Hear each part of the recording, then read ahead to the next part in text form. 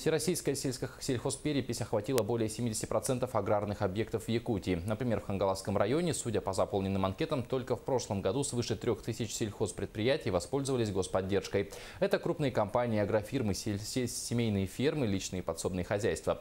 Почем будет нынче овес и какие надежды связывают сельские труженики с итогами переписи, выясняла Юлия Михайлова. В Хангаласском районе больше всего лично подсобных хозяйств. Для многих свой огород стал хорошим подспорьем для семейного бюджета, как и для 86-летней пенсионерки Екатерины Павловой в селе Актемцы.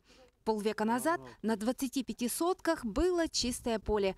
Это тыква. Я, всю зиму я э, запашу каша тыквенная, суп пюре овощное, тыквенное и это кабачковая, патиционная. Для семьи очень хорошая подмога, я думаю. Я вообще думаю, это детей кормлю овощами. На Сайлыке летние дачи агрофирмы Немюгю ранним утром спят только дети. Взрослые давно на ногах. Профиль агрофирмы – племенное животноводство. Австрийские коровы неплохо прижились в суровом климате и при хорошем раскладе дают в сутки до двух тонн молока. Все отправляют в Якутск, но из-за капризов погоды два последних года туго с кормами. В прошлом году засуха была большая, поэтому у нас заготовок силоса, и это очень маленькие было. А сейчас вот вроде дождь есть, но времени для сенокошения не дает. 1 августа уже вот на носу. И у нас только 16 рулонов по хозяйству. 3 миллиона рублей на расширение своего хозяйства получили в прошлом году фермеры Гаврилиевы.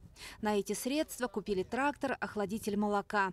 Еще сажают овес и картофель. Если с посадками нынче все в порядке, то заготовка сена, как во многих районах, все зависит от погоды, но и не только. В Немигюнском наследии аграриям не хватает сенокосных угодий. Все хозяйства района получают субсидии на молоко и маточное поголовье. Фермерские и лично подсобные хозяйства участвуют в конкурсах на получение грантов от республики и федерального центра. Какие новые формы поддержки и какие отрасли ее получат, станет известно совсем скоро. Первые итоги переписи опубликуют уже в октябре этого года. Юлия Михайлова, Федор Тарасов, НВК «Саха», Нюмигюнцы, Актемцы, Хангаласский улус.